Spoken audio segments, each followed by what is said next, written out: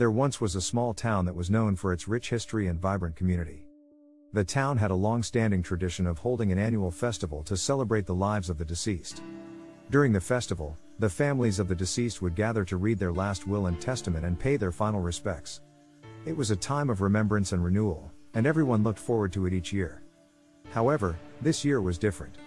A new will had been discovered, and the entire town was buzzing with excitement. The will was written by a wealthy philanthropist who had lived in the town for many years.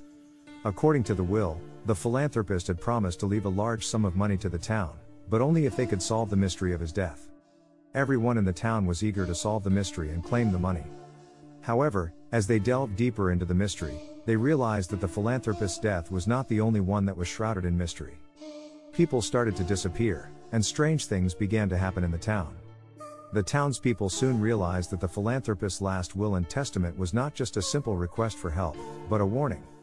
The will was written by the philanthropist after his death, and it was said that whoever read the will would be cursed.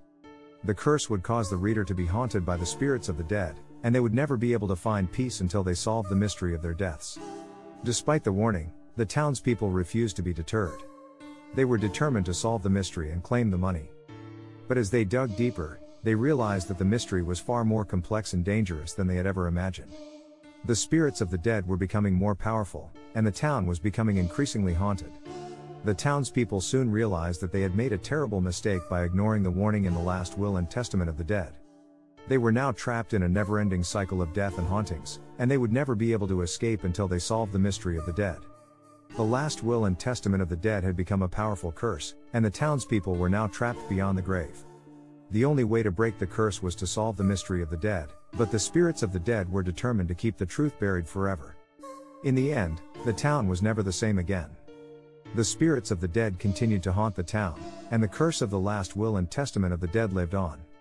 The townspeople would never be able to escape their fate, and the mystery of the dead would forever remain unsolved.